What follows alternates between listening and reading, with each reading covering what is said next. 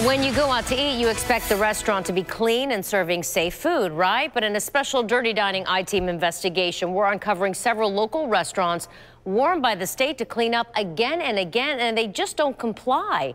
And instead of getting inspected just one to two times per year, as required by law, we found inspectors going back up to 16 times in just 12 months due to repeat violations. Yeah, we hear about every day. Every day. Every day we can. Wow. This loyal customer named Dan, clearly a big fan of Golden Corral on Ulmerton Road, and didn't seem too worried about the serious issues inside the Largo restaurant this last year, including 185 violations written up in inspections. 16 times inspectors came back due to violations not corrected, and food at dangerous temperatures. They've had roaches and rodents as well. Does that concern you? Mm, more protein. well, so you really you're really okay with it? Yeah, I'm fine with it. Despite Dan's lack of concern, inspectors very concerned over the last year, closing the restaurant with a dead rodent and too many rodent droppings to count under the salad bar and other parts of the buffet insects all the buffet food, dead roaches in the kitchen, and blue cheese, ham, shrimp, chicken, beef, and much more, all at temperatures that could make you sick. So what does Golden Corral have to say about this? Can you speak with us about the violations? No, ma'am. I can ask you to leave the building for me, please. We can leave, but can you answer some questions outside? I cannot. I'm sorry. Why is that? You've had multiple violations. There you go. Thank you. Hundreds in the last year. Thank you. Have a good day. Even as far back as 2015, the state returning 10 times that year with similar repeat violations of rodents, insects, and food temperature issues. So you come back. Yeah, I'll be back tomorrow.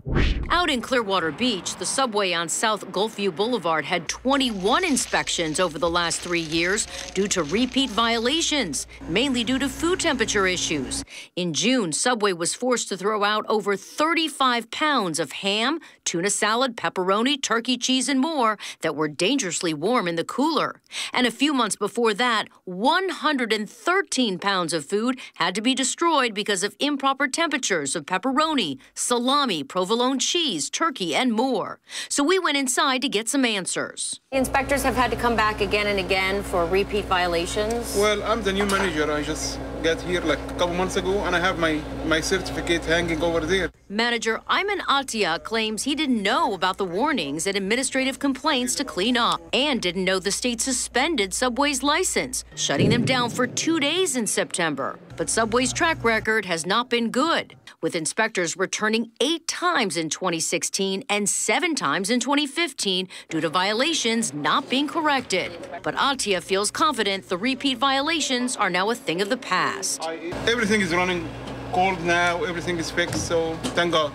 The popular Yummy House China Bistro on East Hillsborough Avenue in Tampa, also a repeat offender, with inspectors going back 24 times in the last three years. And the state documented 200 violations just in 2017, including in October butter, cream, duck, ribs, pork, and more, all at temperatures that could make you sick, cross contamination issues, and employees not using soap or hot water to wash their hands. And just a few months before that, inspectors saw roaches, insects on food, and over a dozen repeat violations and warnings on food safety issues not being corrected. But Dan thinks all restaurants have problems like this. Go to any any place, go through the last two years, Google it up, and look at all the uh, violations everybody's had. Everybody's going to have violations.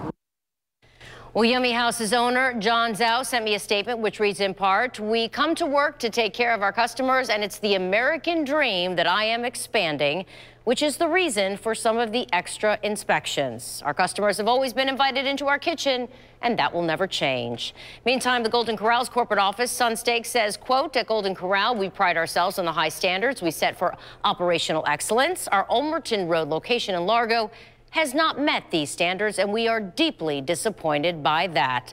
They went on to say, in part, we have brought on an experienced general manager and other employees well equipped to correct gaps. Meantime, we uncovered a total of 50 more restaurants with repeat violations needing multiple inspections just in the last three years. To see that list and their inspection reports along with full statements from the restaurants on air tonight, just head over to our website, abcactionnews.com slash dining.